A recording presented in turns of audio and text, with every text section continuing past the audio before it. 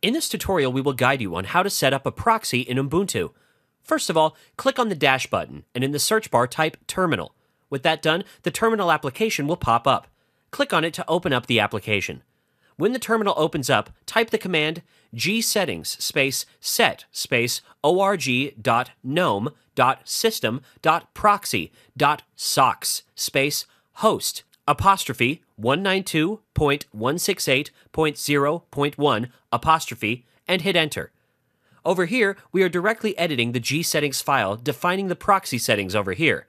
In the next line, type gsettings space set space org dot gnome dot system dot proxy dot socks space port space 8080 and hit enter. This command will define the port the proxy will listen to.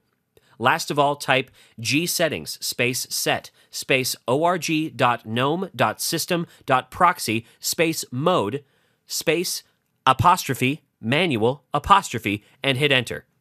Over here, we have defined the mode of setting the proxy, which in this case is manual. And that's it. Your proxy settings will now be successfully configured.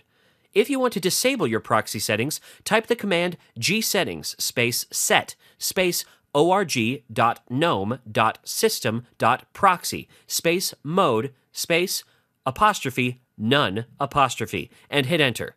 With that done, all your proxy settings will be disabled.